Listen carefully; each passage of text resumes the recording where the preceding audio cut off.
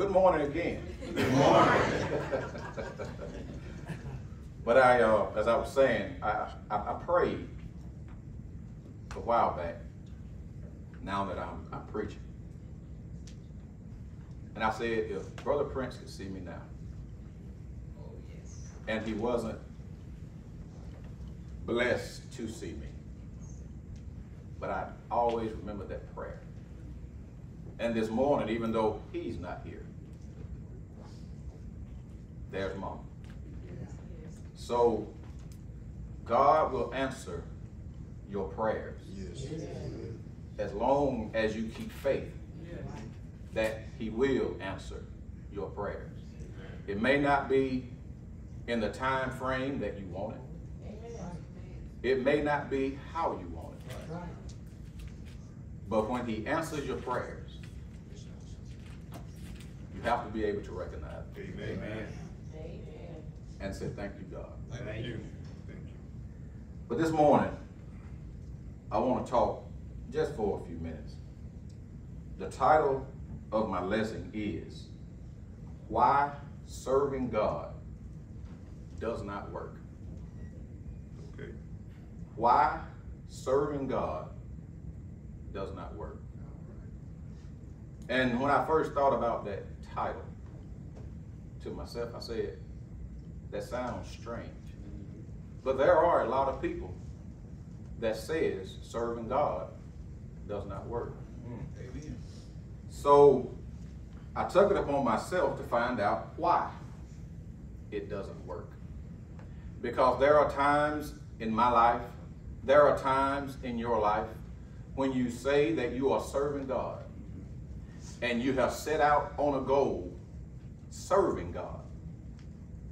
But sometimes it seems that you never reach that goal. So if I'm serving God, how is it that I'm not reaching my goal? Good question. Hence the title. Why serving God does not work. We read in the scripture reading, we read it every Sunday, about the collection. 1 Corinthians chapter 16, verses 1 and 2. Now concerning the collection of the saints that I have given order to the churches of Galatia, even so do ye, that upon the first day of the week, that every one of you lay by in store, as God has prospered him, that there be no gathering when I come. Now, what Paul is trying to do, what he's going around doing, there are some poor Christians in Jerusalem. Mm-hmm. And Paul is going around to the churches and he's writing to the churches, seeing if they would come together to take up a collection for the poor saints down at Jerusalem. Now, we're going to take our lesson from 2 Corinthians chapter 8. Turn there with me if you will.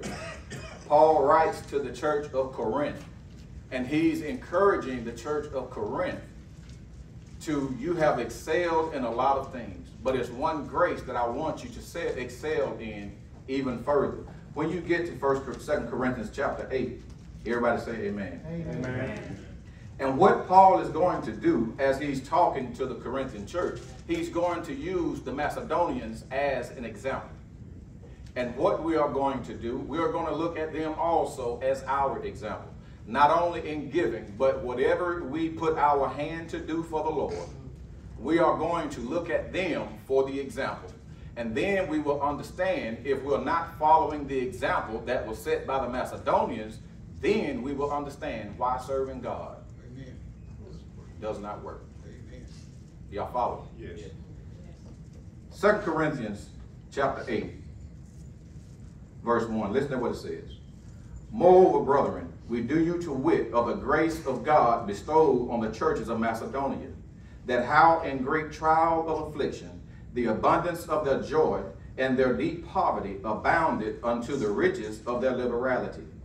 For to their power I bear record, yea, and beyond their power, they were willing of themselves, praying, praying us with much entreaty that we would receive the gift and take upon us the fellowship of the ministry.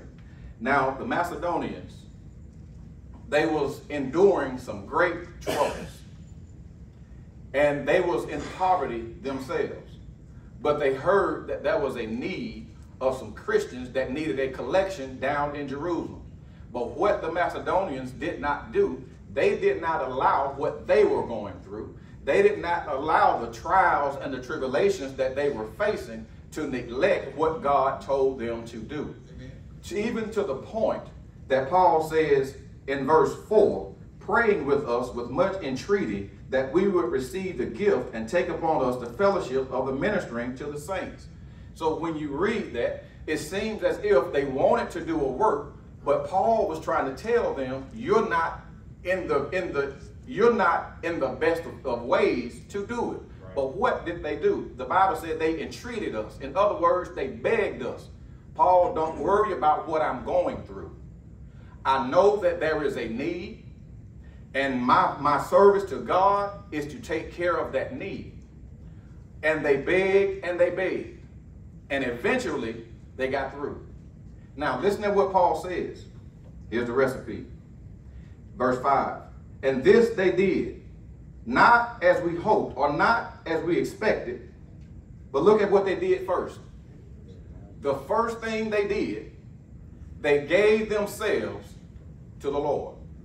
Now, if you want to know why God, why serving God does not work, the first question is, have you given yourself or have you devoted yourself to God? Amen. Because there are times when I say that I'm serving God, I give myself to God. Mm-hmm. When I say I have given myself to God, what am I saying? I am saying, when you look over in Romans chapter 12, verses 1 and 2, Yes, what does it say? Wherefore, brethren, present your bodies as a what?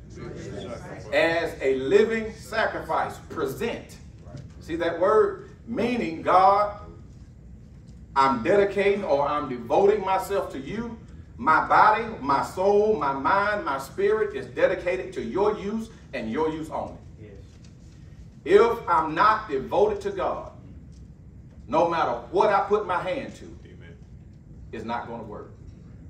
But as long as I'm putting my hand to it, and we've been talking about these evil spirits the last couple of sermons, these spirits will make you think that I'm serving God mm-hmm. and I'm devoted to God, when in all actuality, you're not. We have been going through the Old Testament, and we've been following the children of Israel all the way out of Egypt. They cried to God for help. God brought them out of Egypt. And as soon as they got out of Egypt and they ran into a little trouble, what did they say? It would have been better if we would have stayed in Egypt. See, because there are times they wanted to serve God. They said they was going to serve God. But when trouble came, was they devoted to God? Amen. There's a, there's a term that I like to use as sunshine Christians. Even when I was coming up, I had sunshine friends. And myself at that some at that one point in time, I was a sunshine friend. Right. What do you mean? As long as everything is good. As long as everything is good, That's right.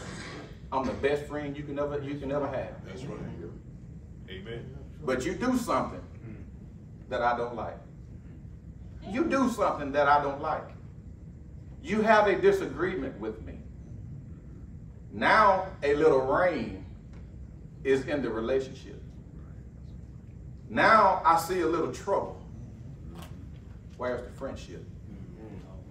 See, because as long, God, as long as you're making my path smooth, I'm devoted to you.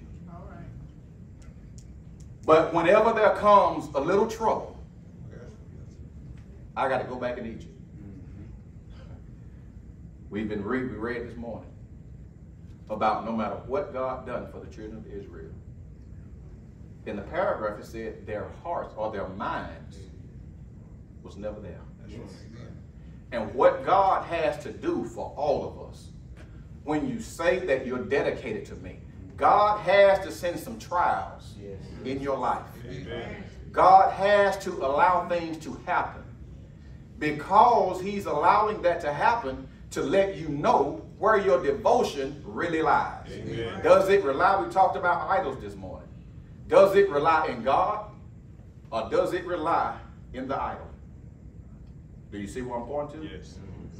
Because see, when I'm stuck on self, that's my idol. Yes. Amen. And I can't see what God is doing for me. I prayed before I got here.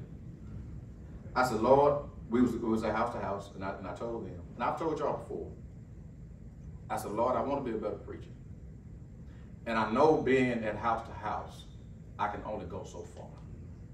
So what I need to do, I need to go in with someone that can teach me to become a better preacher. Amen. Amen. God is fulfilling that prayer. Yes, sir. Amen. But you know how I will miss it? Is when Brother Greg, one of the brothers, one of the sisters, if they come to me and they say, Brandon, you need to stop doing thus and such, or Brandon, I disagree with thus and such, if I don't understand what I prayed for, I'm going to look at the gift that God has sent me to be a better preacher, Amen. to be a better Christian. I'm going to look at that as conflict Yes.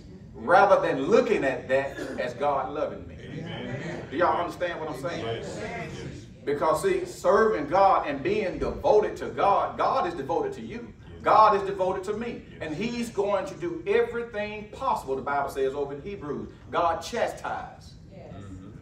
those that he loves. If you are without chastisement, the Bible says, then you are bastards. Do you know what that means? It means you are fatherless. And God refuses to allow the people that he loves to go without chastisement. But if you want to live a Christian life without chastisement, are you dedicated to God? So if you are wondering why serving God is not working for you, ask yourself, are you dedicated? Are you dedicated? Not just in the good times, but are you dedicated in the trying times? Because when we look at the church of Macedonia, when Paul was saying they did more than we expected them to do. But the question is, why were they able to do it? Because first, they gave themselves to God. So, why serving God isn't working for us? Have you given yourself wholly, not partly? Have you given yourself wholly to God? Yes. I had to put a blend door actuator on my car. And I have three of them. I have one on the passenger side on the right, easy to get to. I have one on the left side, passenger side, easy to get to. And then I have the third one that's under the driver's side dashboard behind the, ra- the radio. So I knew I had to fix it because it controls when it's cold outside, it controls the heat. And if it's not working, it's going, I'm driving, I'm going to work and it's cold outside. And I turn on my heater and it's not working, it's only da da da, it's clicking. So it's only blowing out cold air. So that's okay. I know I'm going to have to fix this car. So I put on my first two, which was easy. And I go to the third with the same expectations that I have with the first two. Because they was easy, this also should be easy. Now, watch God. Brandon, everything in your life serving me is not going to be easy. But the reason it's not going to be easy because I want to see how devoted you are to me. So now I'm working on this car and I'm looking to see how am I going to get up under here. So I have to take the underneath dashboard off. And it's up under the steering wheel. I'm not going to take the steering wheel off. so some people say I'm, I'm kind of oversized. So I have to figure out a way to get up under the steering wheel. Not only get up under the steering wheel, now I don't have a car shop. I'm in my yard. So I'm having to slide under the steering wheel while the floorboard is scarring up my back. But I'm still inching my way because I know that needs to be fixed. Yes, sir. Because if it doesn't need to be, if it doesn't get fixed, it's going to make me sick. Because it's too much cold air blowing on me. So after I scoop myself in an uncomfortable position, I have my wrench that I thought I needed. And I go up in it, now I'm scratching the back of my hands, and I get to the actuator, and the screws are about that big. I said, I've done all this work, and I have the wrong tools. Now, I could either give up, or I could dedicate myself Amen. and say to myself, no matter how much it scratches up my back, no matter how many scars it puts on my hand, I have to devote myself to fixing this car for the health of me. Amen. Now, as I'm saying that, you ask yourself, as you're going through life, as you're serving God, when things are coming in your life, you're having trials, you're having tribulations, and they hurt you. Yes. Are you willing to stay devoted to God for the betterment of your spiritual life? Amen. Or are you willing to retreat back and say, you know what? I relieve, I relieve my hands of it. Oh, wow. And you will watch yourself slowly drift away from God. Amen. Yes, you will. And the devil will tell you, and this is what I've done at times. I gotta grow. God says, how can you grow without pain? amen. See, if everything is pleasurable, there's no teaching. Jesus said, if you salute those who salute you, what good is it? But when they persecute you and you learn to bless them. When they talk about you Yes. and you can still walk with your head up high. Yes. Because you can look back and you can say, God, I know why this is happening because it's somewhere you're trying to make me stronger. Amen. And God, I thank you for that. Yes. But when you're not dedicated to God, Yes, you will miss it every time. Good. But the Macedonians, the Bible said the first thing they did, they gave themselves to God. Mm-hmm. That's number one. So whenever God, whenever serving God does not work, ask yourself, have you followed the first ingredient? And the first ingredient is giving yourself wholly to God. Mm-hmm. Isn't that, let's keep reading. Verse 5. And it says, not as we hoped, but they first gave themselves to the Lord. What's the next? Here it is. And, see the conjunction? And unto. So now, now that I'm serving God and I'm giving myself to God, I'm ready to serve you, God. Brandon said, God said, hold on, Brandon. Mm-hmm. Because you can't just give yourself wholly to me. Because, see, Brandon, serving me includes serving people. That's. So when you give yourself to me, Brandon, have you given yourself also to the people that you're supposed to serve? Amen. Oh, man. Said, oh, man. But God, I know what I'm doing. I've taught martial arts. I've coached basketball. I've done a lot of teaching. But you know what I had to do? I had to listen to the people that I was teaching Yes. in order to be a better teacher. Yes, sir. Do you understand what I'm saying? Yes. Yes. Turn your Bible to 2 Corinthians 5, verses 14 and 15. See, when you are devoted to God, and now I have to devote myself to the people. Listen at what it says. Everybody there? Yes. And it says, For the love of Christ constrains us, because we thus judge that if one died for all, then we are all dead. And that he died for all, that they which should live or which live should not henceforth live who? Unto themselves, but unto him that died for them and rose again. So, God, now that I have devoted myself to you, I have to understand I can't live for myself. Amen. Because if I'm living for myself, serving God will not work.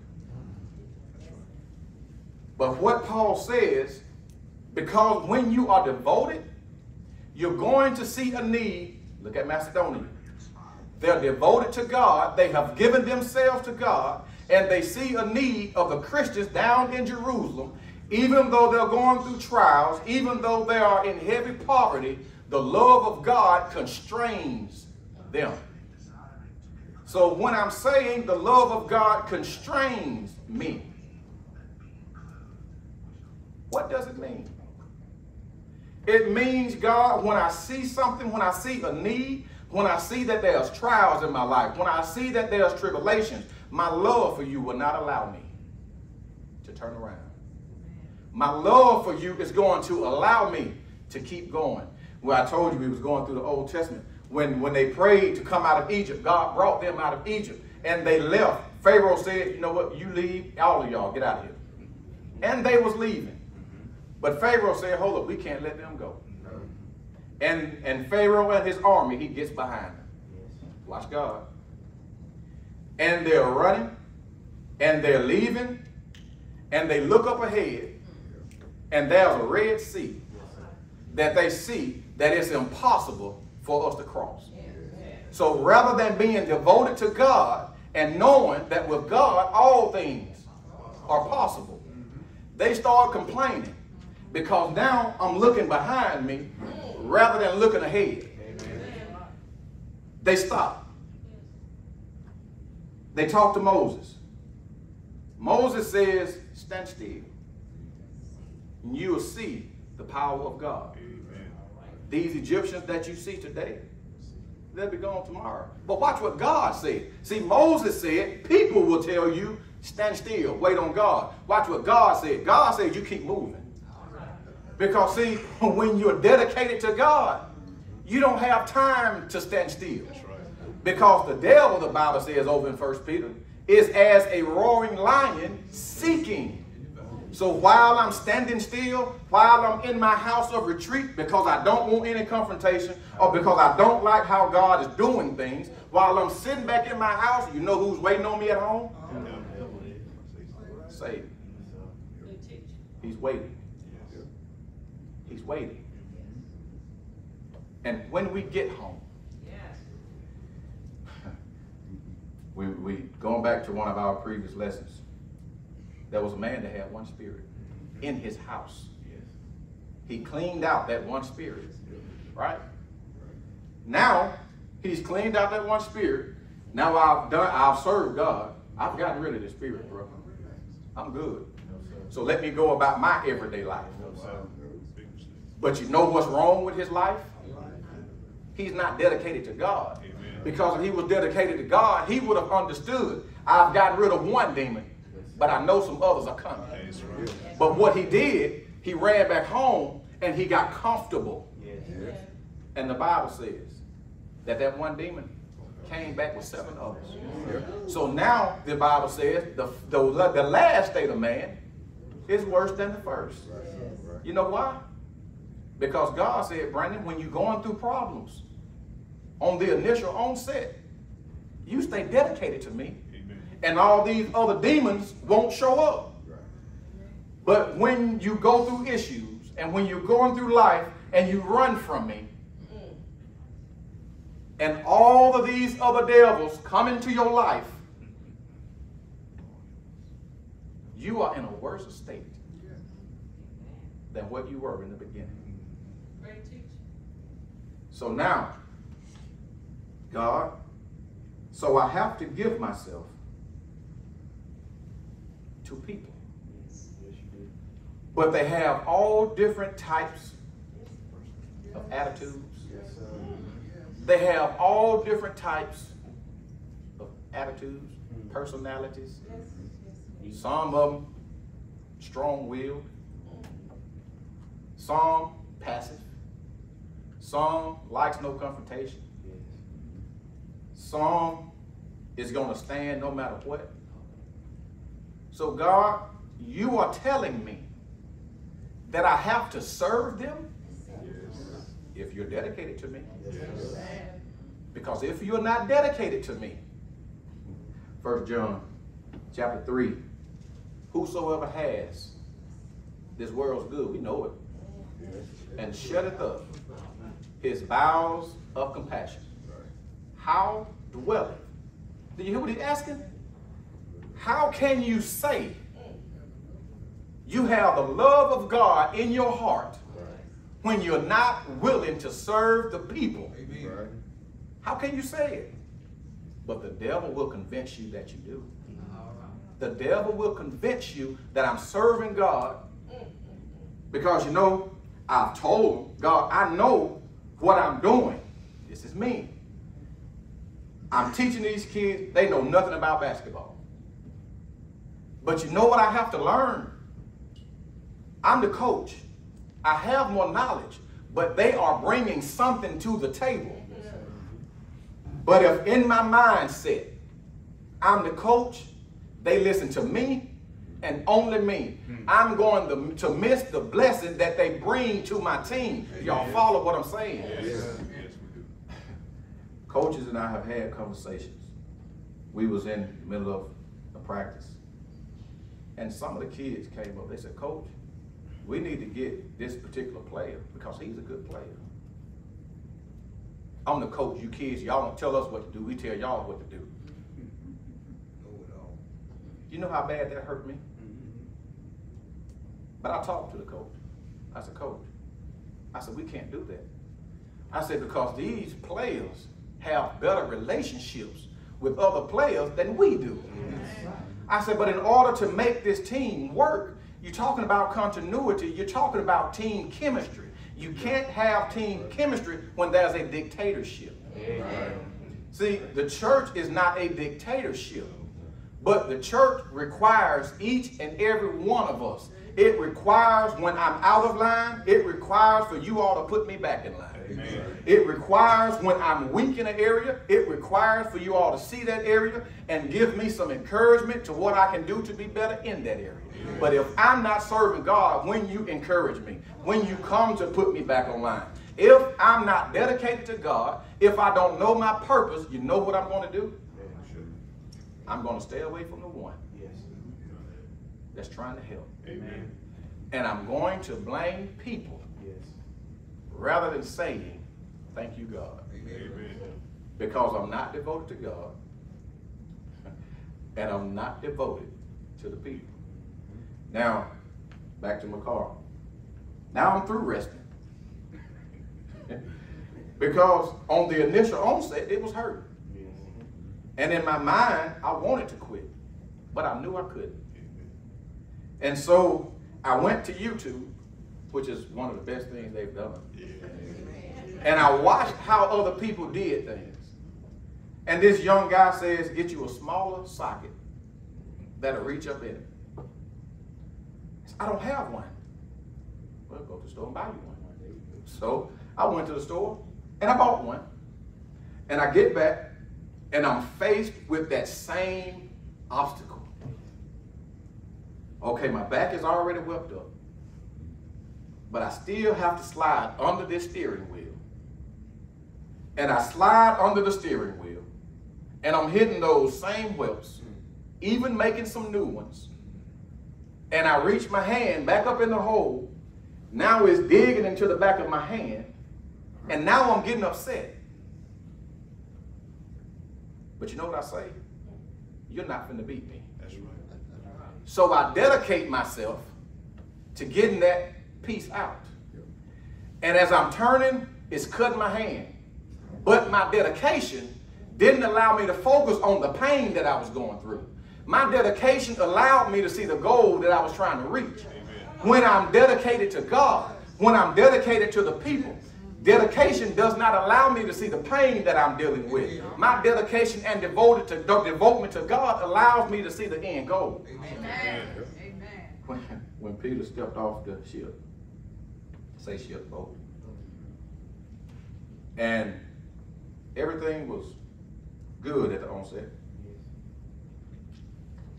Then the Bible says that the wind became boisterous. And now Peter takes his focus off of God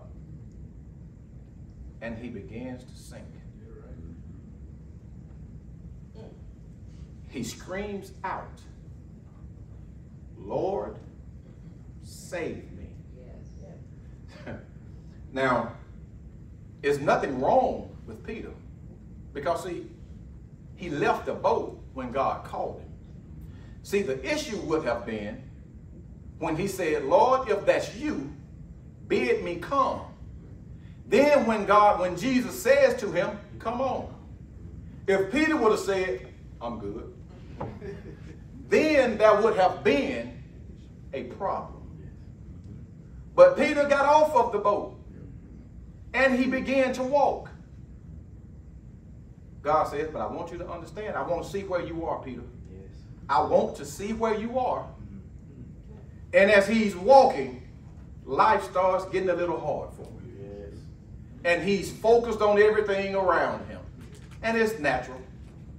But God wants to know when you are sinking, who are you reaching for? Amen. Because see, whoever you reach for, that's who your devotion is to. And a lot of times, the reason God can't save me and the reason God, serving God, is not good for me because I'm reaching to the wrong people. Yes. The Macedonians, they gave themselves to God. Yes. And they gave themselves to the people. We go to a wife now, we go out and eat. And we have to. You have a server come to your table. Do you treat that server nice every time you go? Do you talk to him nice every time you go? Do you treat him, do you tip him heavily or her heavily every time you go? Or do you tip him according to the service? Now some would, well it don't matter. I'm going to tip them accordingly. I'm going to tip them however I see fit. And that is a good thing to do. But you know what those servers have to understand? I used to be one. How you treat your customers depends on your tip. Yeah. Watch Satan. Satan says, but you tip them well because they don't they, do, they do not get paid a lot anyway on the onset. And that seems plausible. But you know what Satan will do? If Brother Michael comes to the restaurant and I'm his server, and I know I'm supposed to give myself to him because he's in my area, I'm supposed to wait on him, but I see his drink run out, and I'm running by, I'm filling up everyone else drink, and I look over and I see, you good? And I fill up everybody else's drink. You good? And I'm feel I'm doing everything for everybody else. But out of the goodness of Brother Michael's heart, he still tipped me a 20. You know what that just told me? If God was that kind of tipper, you know what that tells us? I can sham on my job and still get the full benefit. Do y'all follow what I'm saying? Because see, serving is a very, turn your Bibles to Matthew chapter 20. Matthew chapter 20. We're going to start at verse 25. James and John came to Jesus one day. And Salome, their mother. They wanted to have the left and the right seat in his kingdom. And Jesus says, Do you think that you can be baptized with the baptism that I'm going to be baptized with? And of course, they said yes. And Jesus said, Indeed, you will. He said, But to give the right and the left, That's not, that's not my call. Verse 25. Are you there? Listen to what it says. But Jesus called them and unto them, and he said, You know the princes of the Gentiles exercise dominion over them, and they that great that are great exercise authority upon them. But it shall not be so among you. But whosoever will be great among you, let him be your minister or servant. And whosoever be chief among you, let him be your servant. Even as the Son of Man came not to be ministered unto, but to do what? But to minister and to give his life a ransom for many. Do you see the type of servant that Jesus was? Can you see the type of servants that's a, that the Macedonians were? Because they understood Christ has left me an example. He has left me an example of how to be devoted to God. He has left me an example how to be a servant to other people. When you go to Philippians chapter 2, we read it. Let this mind be in you that was also in Christ Jesus, who being in the form of God, thought it not robbery to be equal with God, but made of himself no reputation, and became in the form of a man. Why did he do it? Because he knew being a servant, I can't hold on to myself. Being a servant for God, I have to be willing to allow myself to be used. I have become all things, Paul said, to all men. To the weak, I became weak. To the Jew, I became a Jew. To the Greek, I became a Greek. I became all things to all men in the hope that I might what? That I might save some. So if you're not dedicated to people, how can you say, I'm serving God? So we look at the Macedonians. They was dedicated to God. And they was dedicated to the people. And they was dedicated to the work. What's the work? We just talked about the work of servanthood. That's a work that you're going to be talked about. That's a work that you're going to be lied on. That's a work that you're going to be unappreciated. Yes, sir. But all of that entails servanthood. But the question is, when you're serving, who are you serving? Because if you're dedicated to God, you know that servanthood entails all of these things as Christ has suffered in the flesh. Arm yourselves. Likewise. So if I'm following Christ's example as he's walking through the Garden of Gethsemane, he said, God, he said, you know what, y'all sit here. I got to go pray about this. Mm-hmm. He said, I have to go pray about this. He said, because what I'm going through, all at this particular time, the weight of what Christ is about to do for us because of servanthood is weighing on him. Yes. To the point that he says is about to kill me. Luke describes it as drops of blood That's right. dripping from his head. But he never turned away from servanthood. Even when he prayed to God, he said, Lord, remove this cup from me. Nevertheless, listen at the prayer. Not my will, but thy will be done. What's the will, Jesus? Servanthood. God, you sent me here. I have to be a servant to the people. I have to give them what they need, even though they don't think they need it. I have to love them when they don't even understand what I'm doing. I have to give my life for people that I have done so many miracles for. I have healed the sick. I have raised the dead. I have fed 5,000 with two fish and five loaves of bread. And yet I still have to serve these no good people. God said, if you're dedicated to me, if you're dedicated to me. You're not looking to go back to Egypt. You're looking to go to heaven. But if you're not dedicated to God and you're not dedicated to the people and you're not dedicated to the work of servanthood, Egypt is your destiny. Yes. Egypt is your safety net. Yes. But God says the only safety net you need, I'm your safety net. Amen. Thank you.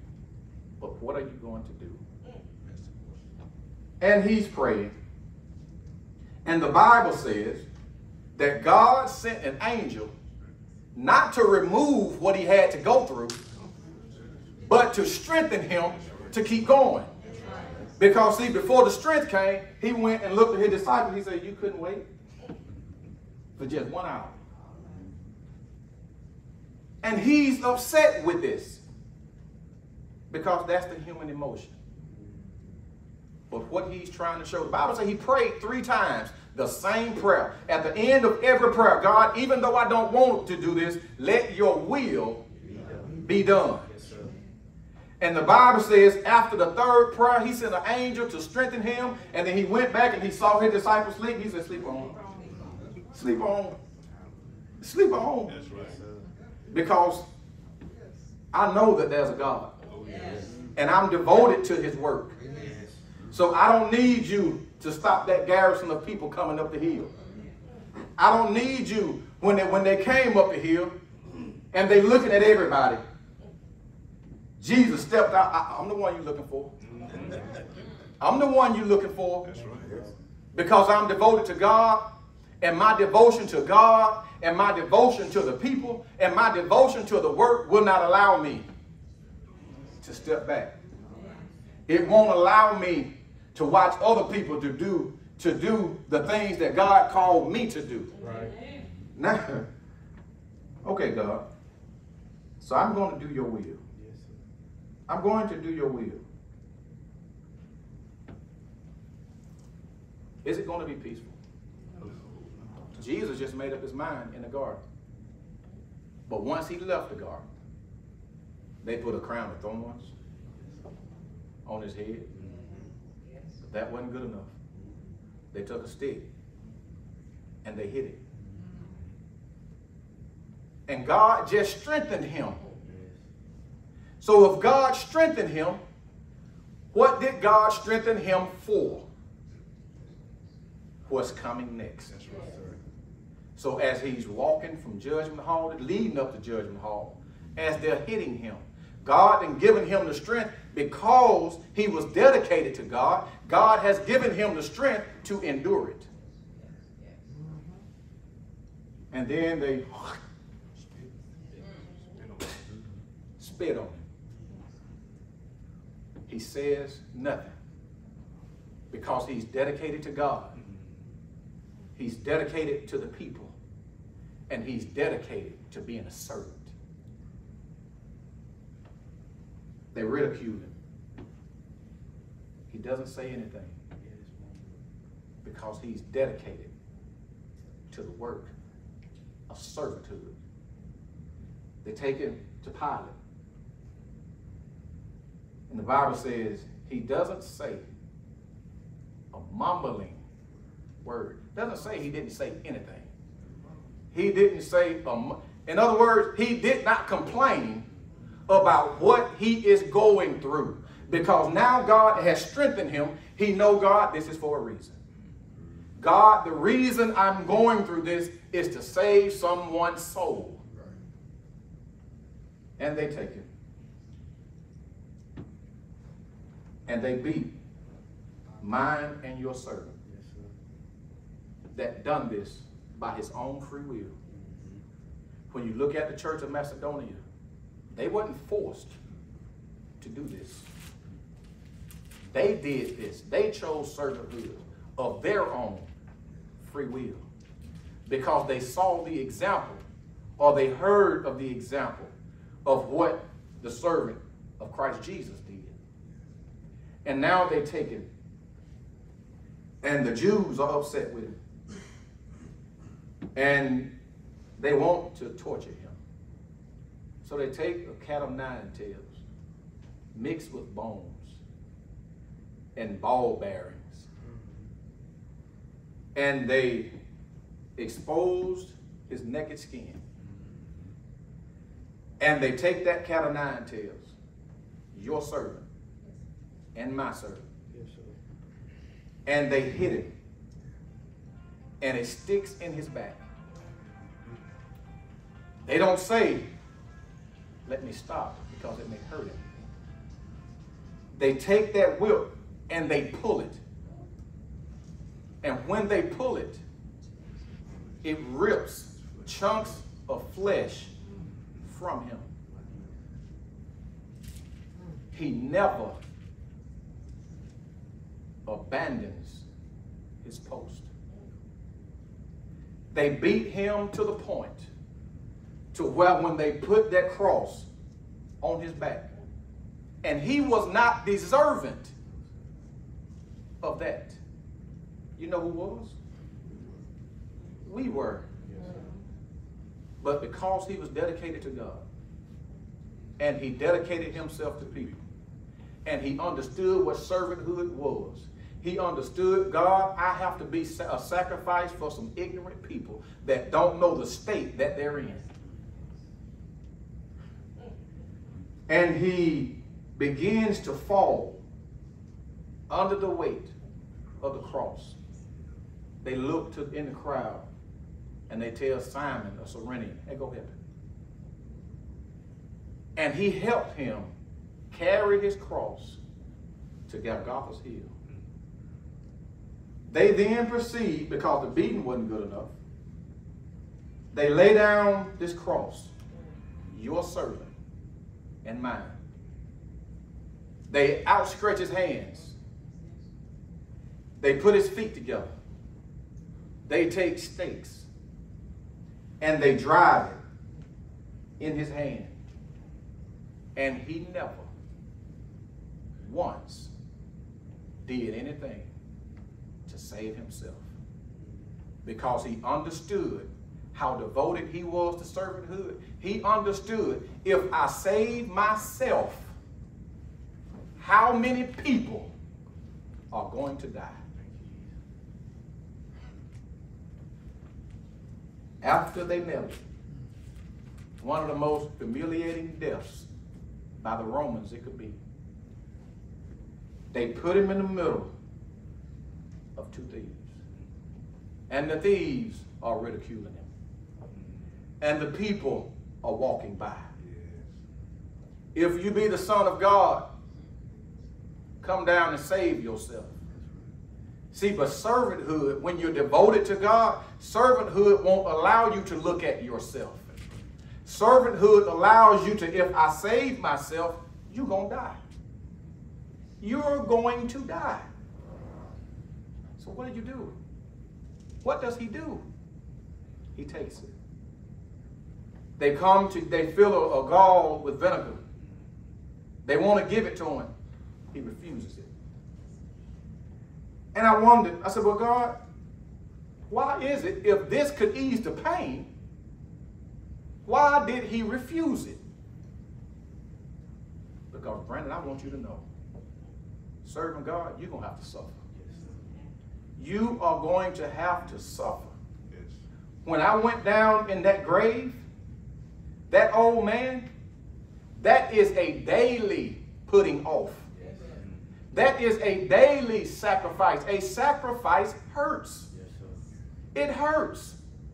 And we are going to have to do it if we plan on making heaven our home. Amen. Because Jesus has given us an example. We see what the Macedonian church did. They gave themselves to God. They gave themselves to the people and they would not allow anyone, even though Paul was an apostle, they was not going to allow Paul to stop them from doing what God told them to do. Yes. They begged, let us help you. You're not in the you're not in a good place. Don't worry about that, Paul. Let us help you. To the point that Paul said, we saw that and we even told Titus, say, you continue to do what you're doing. This lesson coming down to the end is yours. Turn with, with me in your Bibles to Proverbs chapter 3. Proverbs chapter 3. When you're there, say I'm there. Proverbs chapter 3, verses 5 and 6. A couple more there, and we'll read it. Proverbs chapter 3, verses 5 and 6. And it reads, Trust in the Lord with all thine heart, Yes. and lean not to thine own understanding.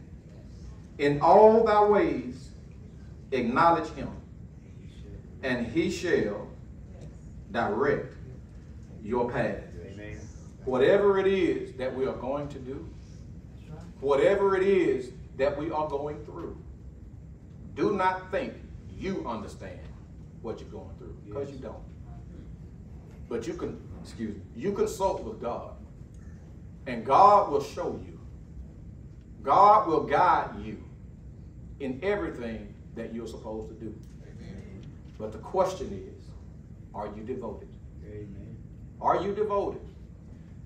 And if you're not devoted, now you understand why serving God does not work. There are five things that you must do to become a member of the one and only church that you can find in the New Testament scripture. First, you must hear the gospel.